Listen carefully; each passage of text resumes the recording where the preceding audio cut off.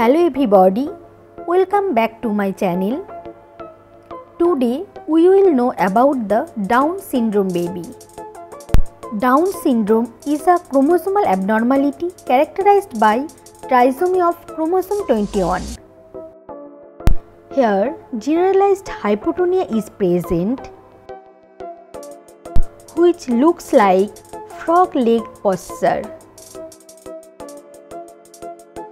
With dysmorphic features like flat faces, depressed nasal bridge,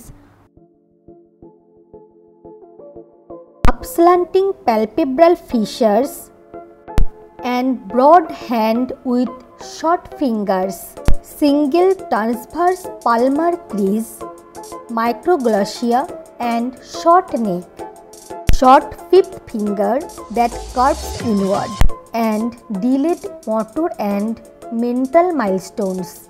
Clinical features Almost all individuals with Down syndrome have cognitive impairment. Most are mildly to moderately intellectually disabled, although some have severely impaired. Behavioral and psychiatric disorders are common.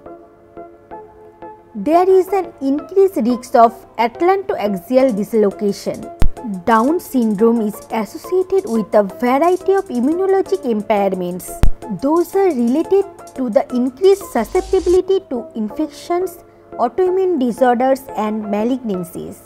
It is also associated with cardiac defects in 40 to 50% of cases, ventricular septal defect, atrial septal defect, it is also associated with duodenal atresia or stenosis and Hirschsprung disease and hypothyroidism. Investigations Karyotype and fluorescent in situ hybridization confirm the diagnosis. And prenatal diagnosis of fetal karyotype is done by chorionic villus sampling or amniocentesis. Treatment Medical and surgical management of cardiac defects and intestinal malformations. Supportive treatment like physiotherapy, speech therapy, prevention of obesity, monitoring of celiac disease and thyroid functions. Thank you for listening to me. Please like, share and subscribe for more such videos. Thank you.